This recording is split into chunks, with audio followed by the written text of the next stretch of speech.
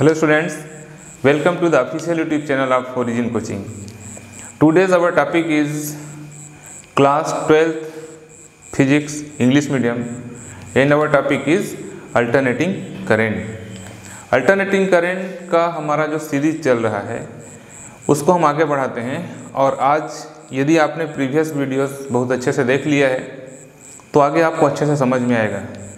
यदि आपने नहीं देखा है तो सबसे पहले आप इससे पहले की वीडियो आप देखिए क्योंकि हम कंटेंट्स कंटिन्यूस आपको प्रोवाइड करा रहे हैं जो एक दूसरे से कोरिलेटेड है today our topic is power of AC current power of alternating current what is power of alternating current the power of alternating current is the product of current and potential that means power is V into I. The power of alternating current is the product of its potential and the amount of current. That equal, we know that V equal to V naught sine omega t and I equal to I naught sine omega t plus phi or minus phi. Here phi is phase difference between phase of the potential and phase of the current clear that equal देखो इसको minus phi भी लिख सकते हैं अपन क्योंकि difference बताना है minus भी लिख सकते हैं प्लस भी लिख सकते हैं दोनों के बीच में फाइव का डिफरेंस है that implies now multiply two and divide two multiply and divide that means one upon two V naught I naught and multiply two divided by two and multiply by two two sine omega T into sine omega T minus five that equal one upon two V naught into I naught this is the formula of two sine A sine B two sine A sine B देखो trigonometry में two sine A into sine B किसका formula होता है two sine A sine B formula होता है cos A minus B plus cos A plus B इसका formula होता है इसको हम एक्सपांड करते हैं तो इसको एक्सपांड करने से आता है cos A cos B plus sine A sine B ये आता है और इसको एक्सपांड करो तो आता है कास ए कास बी ये माइनस होगा सॉरी ना ये माइनस होगा minus cos A cos B से माइनस आता है प्लस ये हो जाता है साइन ए साइन बी वैसे आपको इसको लर्न करके याद रखना है सीधा इस फार्मूला को ठीक है तो मैथ मैथमेटिक्स के स्टूडेंट्स लोग को पता होता है जो बायो के स्टूडेंट्स हैं उनके लिए मैंने एक्सप्लेन किया यहाँ पर ये दोनों कैंसल आउट हो जाते हैं और sine A sine B two sine A sine B तो ये फार्मूला हम यहाँ पर अप्लाई कर दें तो here the value of omega T is A and omega T minus five is B तो उस फार्मूला को हम यहाँ पर अप्लाई कर दें तो क्या हो जाएगा that means cos A minus B cos A minus B तो इसके साथ में माइनस होगा ओमेगा टी कैंसिल आउट होएगा और बचेगा क्या फाइव और minus cos A plus B that means two omega T minus five ये हमने फार्मूला लगा दिया आप चाहो तो रेफरेंस के लिए इस फार्मूला को यहाँ पर लिख सकते हो अपने याद के लिए इसको पर एक्सपांड करने की जरूरत नहीं तो मैं समझाने के लिए आप लोगों को किया इस फार्मूला को यहाँ पर यूज़ किया दैट इक्वल अब आगे देखो फॉर ए कम्प्लीट साइकिल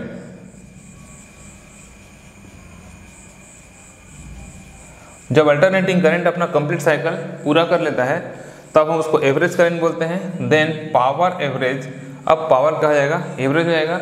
और अपने कंप्लीट साइकिल में इसका वैल्यू क्या हो जाएगा जीरो हो जाएगा क्योंकि जब अपना कंप्लीट साइकिल वो कंप्लीट कर लेता है उस टाइम उसका एवरेज पावर जीरो हो जाता है तो पी एवरेज इक्वल टू हो जाएगा इस वैल्यू को आगे लिखें तो ये हो जाएगा one upon two V naught into I naught into cos five इस तरह से हम इसको लिख सकते हैं आगे इसको हम सिंप्लीफाई करें ये मैं इरेज कर देता हूँ ये फार्मूला है अब आगे आप देखो that implies power average equal यहाँ पर हम टू को थोड़ा एडजस्टमेंट करते हैं टू को हम root two into root two two times लिख सकते हैं that means that equal to V naught upon root two into I naught upon root 2 into cos phi. V naught upon root 2 into I naught upon root 2. Root 2 into root 2 2 ho jaayega. That implies power average equal to V naught upon root 2 is RMS value of the potential. That means this is VRMS, root mean square value, and I naught upon root 2 is IRMS into cos phi. This is the final equation for average power of alternating current and here the cos phi is known as cos phi is power factor is power factor cos phi is known as power factor cos phi को हम power factor कहते हैं तो ये इसका formula है और अब हम चाहें तो पावर फैक्टर का हम अलग से वैल्यू फाइंड कर सकते हैं कैसे let for L R circuit कोई भी एक सर्किट ले लेते हैं कोई भी सर्किट ऐसा एल को छोड़ के कोई भी हो टैंक सर्किट है उसको छोड़ के कोई भी सर्किट ले लें एल आर ले लें सी आर ले लें एल सी आर ले लें तो let for L C L R circuit we know that tan phi tan phi equal to omega L upon R ये हम जानते हैं कि एल आर सर्किट का जो टेन फाइव होता है वो ओमेगा एल अपॉन आर होता है ओमेगा एल यहाँ पर टेन के अकॉर्डिंग क्या हो जाएगा यदि टेन के अकॉर्डिंग हम सोचें तो tan theta equal to perpendicular on base that means omega L is perpendicular and R is base now applying Pythagoras theorem here hypotenuse that means hypotenuse H equal to the root of square of perpendicular the sum of square of perpendicular and base square now put of the value of perpendicular and base that equal to perpendicular is omega l that means omega l whole square plus the value of base is r that means r square now this is written as the impedance of L R circuit हम जानते हैं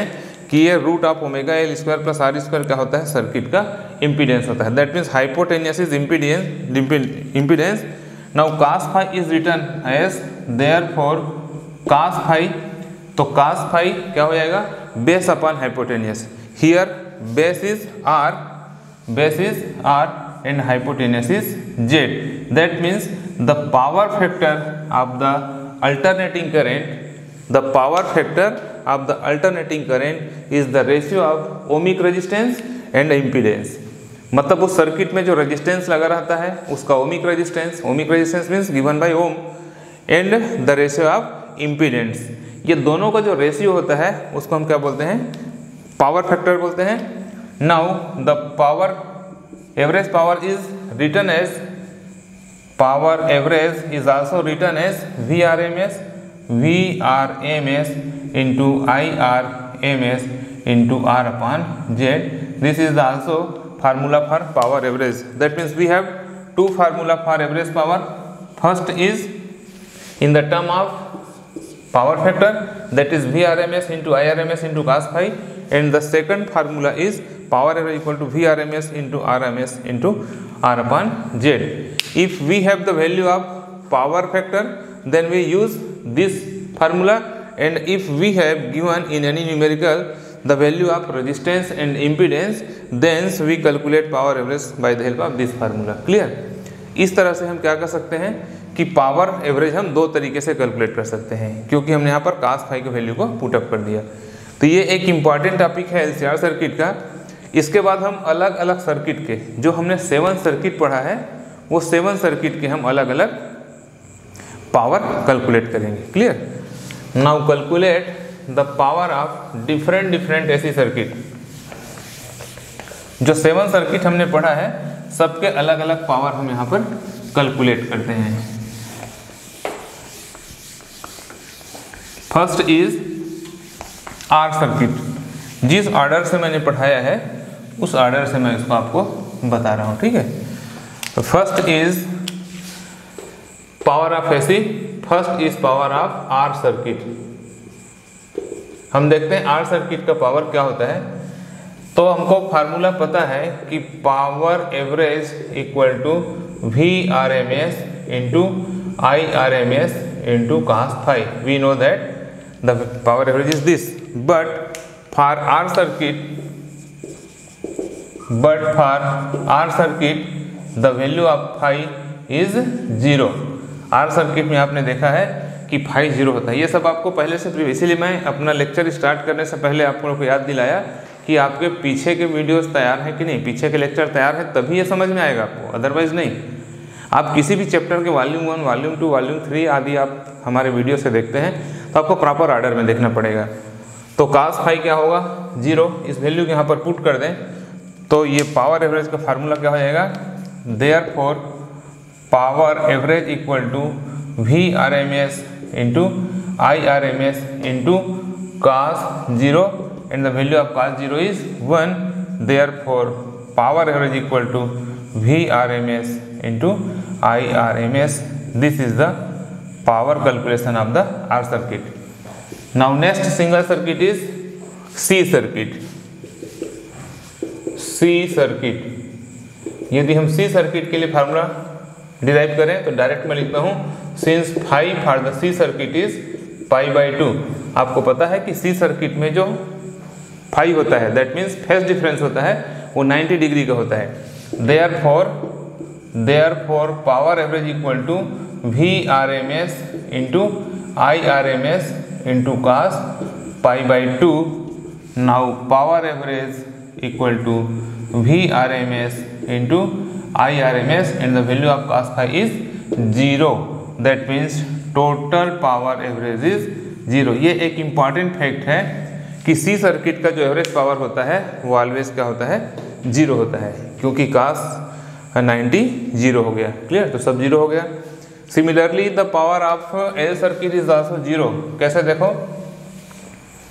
third is L circuit ये real circuit का हमको power निकालना है तो here phi is also pi by two ये भी पाई बाई टू होता है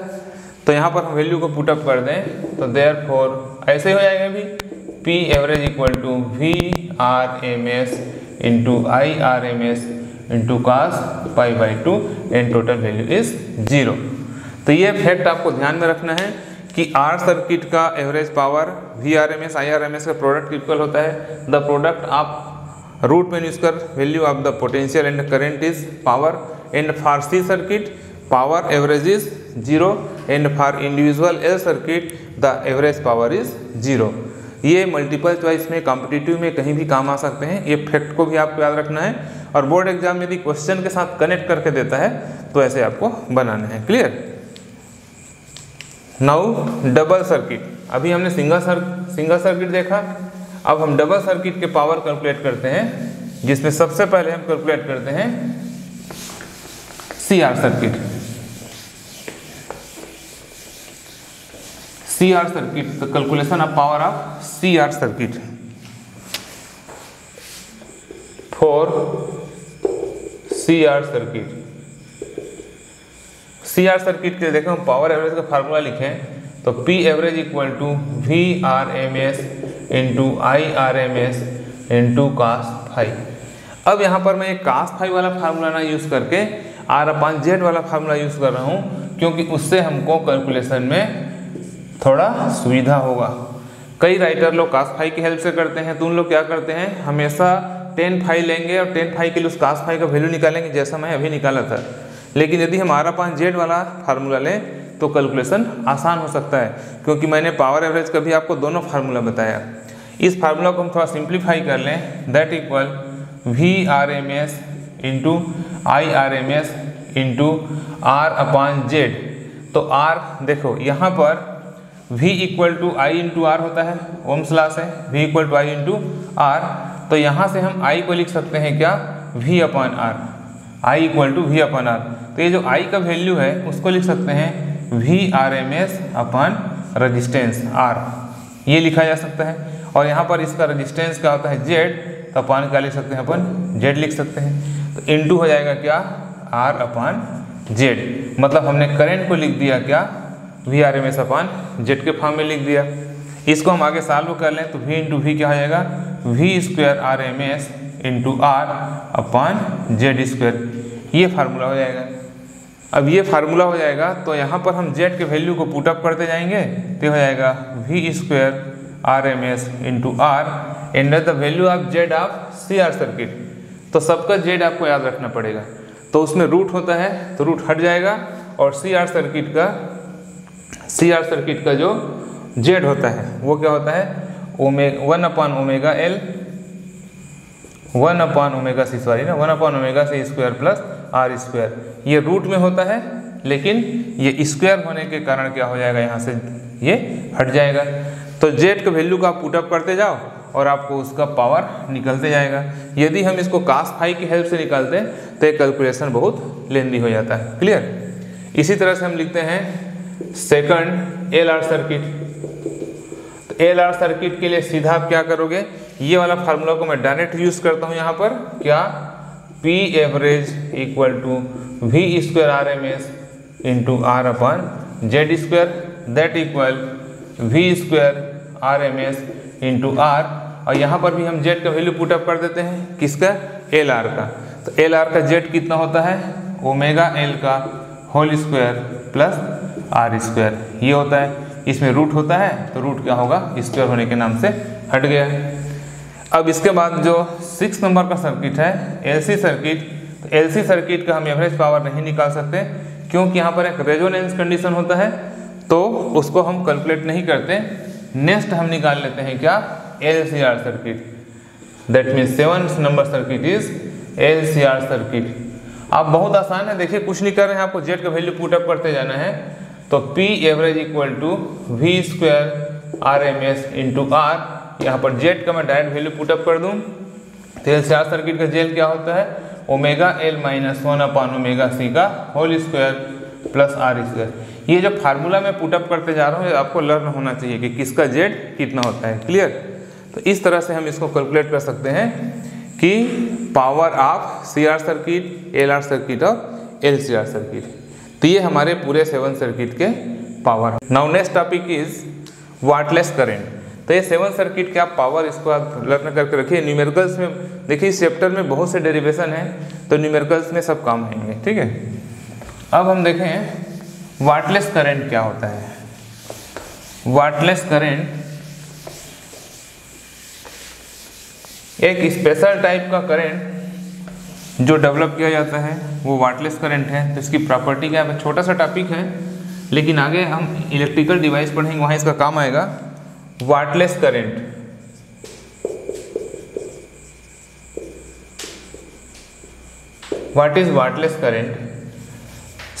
know that P average equal to V R M S into I R M S into cos phi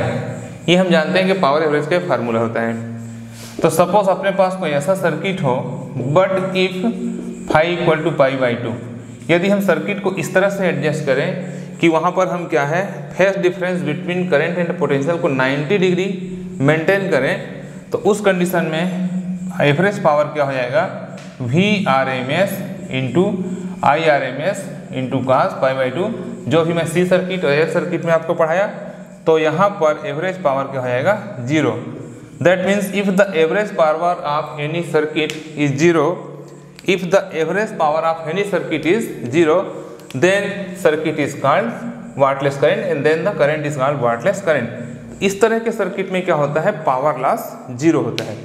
ऐसा सर्किट जिसमें करंट और पोटेंशियल के बीच का जो फेस डिफरेंस 90 डिग्री हो तो उसका एवरेज पावर जीरो होता है तब हम उस करंट को क्या बोलते हैं वाटलेस करंट कहते हैं इसके बेस पर ट्यूबलाइट का चौक बनाया जाता है चौक क्वाइल जो होता है जिसके बेस पर ट्यूबलाइट इग्नाइट होता है जलता है वो क्या कहलाता है चौक कहलाता है वो इसी प्रिंसिपल पर काम करता है आगे हम उसको पढ़ेंगे तो ये हो गए हमारा वाटलेस करेंट अब इस चैप्टर का एक बहुत इंपॉर्टेंट टॉपिक है और वो है रेजोनेंस तो हम आपको रेजोनेंस के बारे में पहले के अपने वीडियो में बता चुके हैं जहाँ पर एल सर्किट पढ़ाए हैं लेकिन यहाँ पर हमको रेजोनेंस को स्पेशली पढ़ना है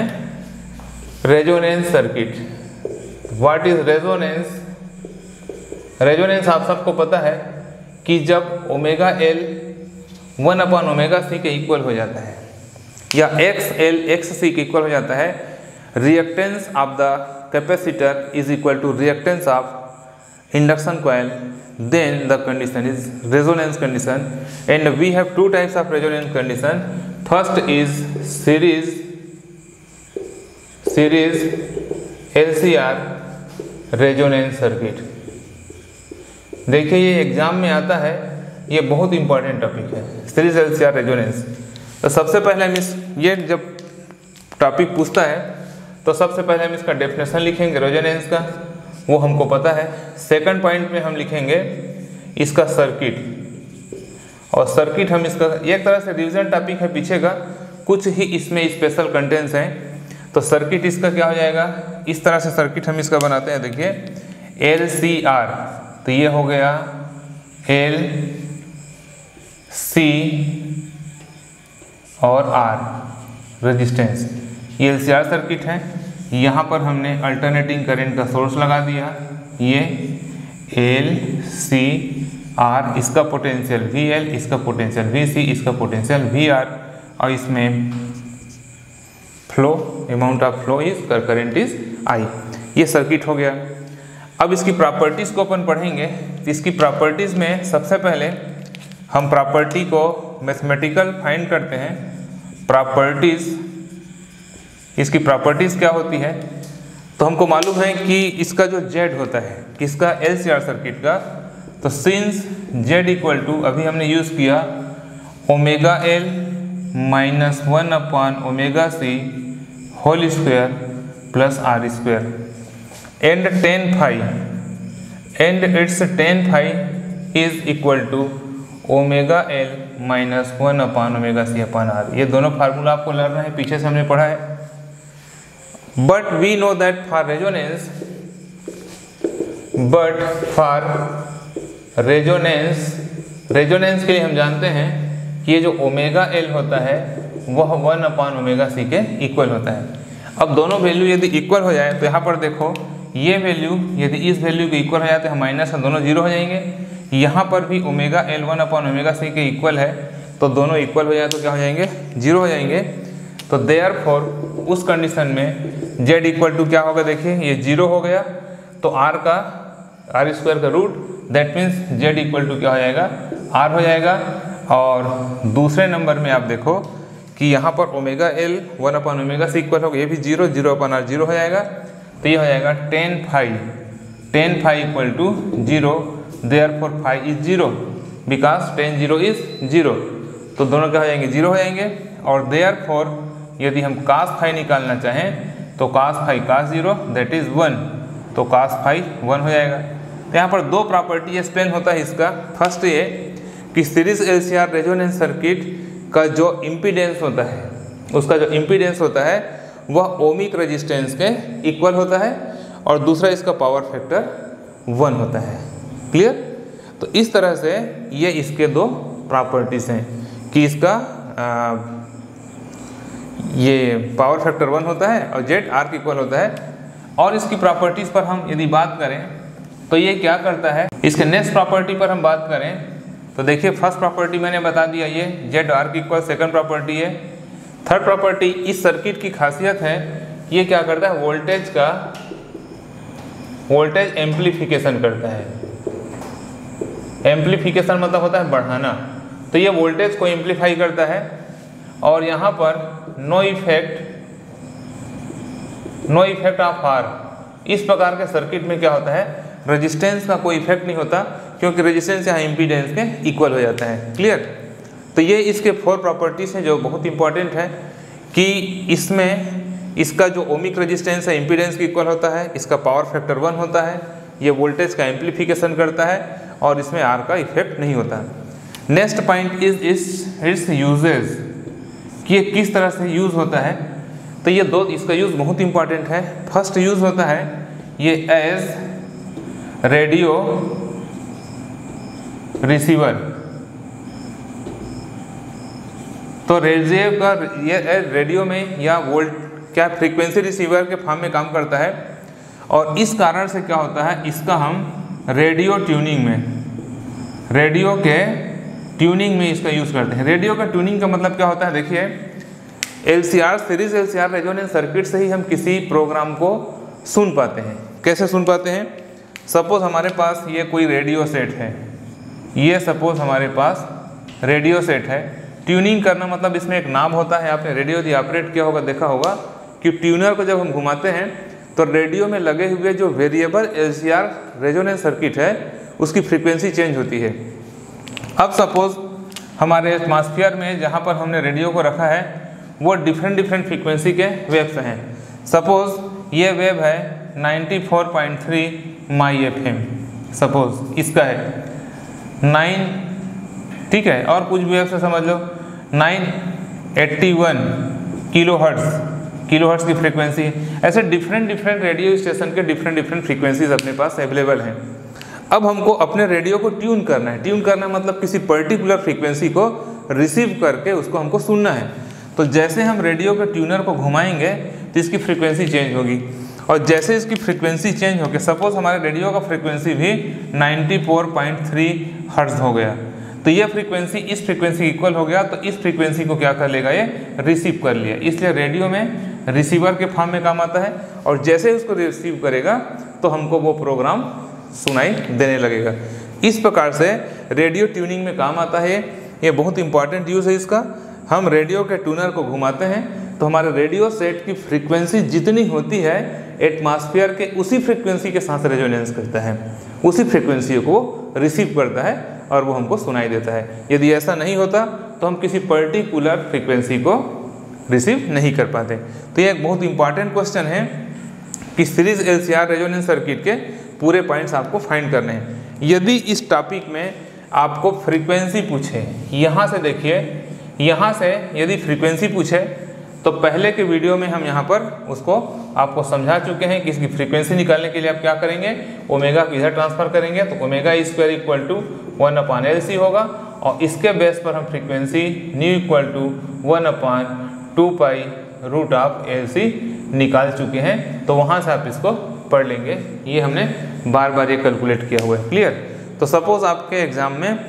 रेजोनेंस फ्रिक्वेंसी पूछे तो एलसी सर्किट में हमने रेजोनेंस फ्रीक्वेंसी जो निकाला है omega L equal to one N omega C से ओमेगा सीधे ट्रांसफर करेंगे तो omega square equal to one upon L C होगा बाद में ओमेगा को आप टू पाई न्यू लिख सकते हैं टू पाई को ट्रांसफर किया तो यहाँ पर हम यहाँ रूट लगा देंगे हो जाएगा रूट ए सी इसकी फ्रीक्वेंसी है ये शार्ट में बता दिया क्योंकि आप इसको कई बार कर चुके हो ठीक है तो वहाँ से आप उसको दोबारा पढ़ सकते हो ये है series L C R resonance circuit अब देखिए एक और रेजोनेंस सर्किट होता है पैरेलल एलसीआर रेजोनेंस सर्किट लेकिन वो हमारे सिलेबस में नहीं है तो मैं उसको कॉम्पिटिटिव पॉइंट ऑफ व्यू से वो किसी बोर्ड के सिलेबस में नहीं है सीबीएसई e में नहीं स्टेट बोर्ड में भी नहीं है तो हम उसको कॉम्पिटिटिव पॉइंट ऑफ व्यू से थोड़ा कंपेरेटिव पढ़ लेते हैं क्योंकि कई बार एग्जाम में दोनों के कंपेरिजन पर कुछ क्वेश्चन आ सकता है तो वो क्या है देखिए सेकंड इसी सर्किट में मैं आपको करेक्शन करके समझा रहा हूँ पैरेलल सर्किट बदल जाएगा फ्रीक्वेंसी वही होगा सब चीज़ वही होगा इसीलिए इसमें कुछ भी ज़्यादा समझने का नहीं है second is parallel parallel resonance circuit resonance का डेफिनेशन वही होगा जो उसमें है रेजोनेंस तो रेजोनेंस है सर्किट थोड़ा चेंज हो जाएगा यहाँ पर सर्किट क्या होता है ये एल और आर के साथ हम सी को पैरेलल कंबाइन कर देते हैं इस तरह से ये दोनों के साथ में पैरेलल कंबाइन हो गया और फिर इसके साथ में हम लगा दिए अल्टरनेटिंग करेंट का सोर्स ये तो ये एल आर और C that means L C और आर सी सर्किट को एक साथ पैरेलल कंबाइन किया जाए तो ये बन जाता है पैरेलल रेजोनेंस सर्किट क्लियर यही यह भी वही होगा ये भी वही होगा सब प्रॉपर्टी वही होगा सिर्फ एक प्रॉपर्टी इसमें चेंज होगा इसीलिए मैं कंपेरेटिव बताया वो वोल्टेज का एम्प्लीफिकेशन करता था तो अब ये वोल्टेज नहीं करंट का एम्पलीफिकेशन करेगा ये डिफरेंस इसीलिए मैं कंपेरेटिव बता रहा हूँ कभी कॉम्पिटेटिव एग्जाम में आए तो उस डिफरेंस को आप समझना सर्किट चेंज होगा बाकी सब चीज़ सेम टू सेम रहेगा ये भी वही ये भी वही सब चीज़ वही क्योंकि जेड तो वही होगा तो इसका करंट एम्प्लीफिकेशन करता है वोल्टेज एम्पलीफिकेशन नहीं करता और यूज़ में क्या है ये रिसीवर था रेडियो रिसीवर था तो वो क्या हो जाएगा रिजेक्टर ये रिजेक्ट करता है दैट मीन्स किसी पर्टिकुलर वेब को रोक देता है ये आने देता है ये रोक देता है और इसी कारण उसका रेडियो ट्यूनिंग में नहीं बल्कि ट्रांसमिशन में रेडियो ट्रांसमिशन में इसका काम आता है रेडियो ट्यूनिंग नहीं ट्यूनिंग ना करके रेडियो को क्या करता है वो ट्रांसमिट करता है तो देखिए मैंने कहाँ कहाँ करेक्शन किया है वो वोल्टेज एम्पलीफिकेशन करता है ये करंट एम्पलीफिकेशन करता है वो रेडियो में फ्रीक्वेंसी को रिसीव करता है ये रेडियो फ्रिक्वेंसी को रिजेक्ट करता है रोकता है वो रेडियो की ट्यूनिंग करता है और ये रेडियो के ट्रांसमिशन करता है मतलब ट्रांसमिशन सेंटर में लगाया जाता है जहाँ ब्रॉडकास्टिंग होता है ब्रॉडकास्टिंग सेंटर में लगाया जाता है क्लियर और ये तो वैसे ही है तो ये सीरीज और पैरल रेजोनेंस का कंपेरिजन है तो यहाँ पर हम ये दो टॉपिक पढ़े इसका सीरीज हमारे बोर्ड एग्जाम का सिलेबस में उसको बहुत अच्छे से तैयार करना है सीरीज और पैरल रेजोनेंस सर्किट अब इस चैप्टर का एक लास्ट टॉपिक है वो है Q factor that means quality factor इसके बाद इसका लास्ट मतलब इसका सेकंड पार्ट नेक्स्ट पार्ट जो पढ़ेंगे उसमें हम इलेक्ट्रिकल डिवाइस पढ़ेंगे इलेक्ट्रिकल डिवाइस मतलब मोटर डायनेमो ये सब पढ़ेंगे और इस पार्ट का ये लास्ट टॉपिक है Q factor Q means quality उसको हम शार्ट फॉर्म में क्यू फैक्टर बोलते हैं ये एक इम्पॉर्टेंट टॉपिक है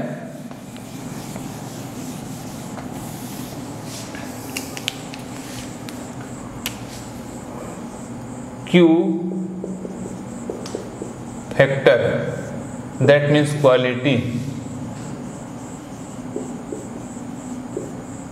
quality factor Q factor means quality factor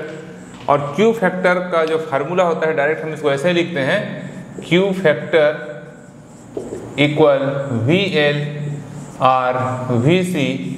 upon V R ये इसका डेफिनेशन है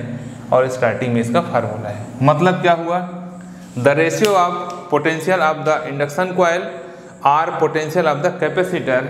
and the potential of resistance ohmic resistance is called quality factor मतलब इंडक्शन कोयल का पोटेंशियल या तो इसका पोटेंशियल में यदि हम रेजिस्टेंस के पोटेंशियल को डिवाइड करें तो जो मिलता है वो क्या कहलाता है क्वालिटी फैक्टर कहलाता है ये इसका डेफिनेशन है आगे इसको हम सिंप्लीफाई करें तो that equal Q factor equal to दोनों में से कोई एक ले लें V L upon V R आगे इसको हम सॉल्व करें तो वी एल को लिख सकते हैं upon I into X L upon I into R that equal यहाँ से आई आई कैंसिल हो जाएगा तो ये मिल जाएगा अपने को X L upon R that equal X L को हम क्या लिख सकते हैं एक्स एल को लिख सकते हैं हम ओमेगा एल तो ये हो जाएगा omega L upon R that equal इसको यदि हम ओमेगा को one upon root of L C लिख सकते हैं तो हो जाएगा one upon root of L C into L upon R that equal यहाँ पर आप देखो ये एल क्या होगा इसके साथ रूट टाइम्स में कैंसिल हो जाएगा तो ये हो जाएगा वन अपॉन आर को मैं सामने लिख दूँ तो ये रूट में एक साथ हो जाएंगे रूट ऊपर हो जाएगा एल अपॉन सी ये होता है क्यू फैक्टर इस तरह से क्यू फैक्टर का मतलब होता है one upon R into root of L upon C एक छोटा सा टॉपिक है ये क्यू फैक्टर का डेफिनेशन है ये क्यू फैक्टर का फार्मूला है एक बार रिपीट करता हूँ मैं देखो क्यू फैक्टर का डेफिनेशन क्या होगा Q factor is the ratio of potential of induction or potential of capacitor with potential of the resistance that means Q factor equal to V L vl V R V C भी ले सकते हैं same आएगा ये complete हो गया तो यहाँ से हम इसको सिंप्लीफाई करके इस फॉर्म में लिख सकते हैं क्यू फैक्टर का फार्मूला तो यहाँ पर हमारा कंप्लीट होता है अल्टरनेटिंग करेंट तो अल्टरनेटिंग करेंट के हमने जितने वीडियो आपको प्रोवाइड किया है शुरू से लास्ट तक वैसे इसका एक टॉपिक हमको अभी बचा है लेकिन उसको इलेक्ट्रिकल मशीन के लिए सेपरेट पढ़ेंगे electrical machine means dynamo transformer motor ये सब अलग से उसको एक अलग सेपरेट चैप्टर पढ़ेंगे तो अल्टरनेटिंग करेंट बहुत इंपॉर्टेंट टॉपिक है इसमें बहुत से फार्मूला डिराइव किया गया बाद में जब हम इसके न्यूमेरिकल्स की वीडियो आपको प्रोवाइड कराएंगे तो इसके फार्मूला वगैरह आपको अच्छे से लर्न होना चाहिए ओके थैंक यू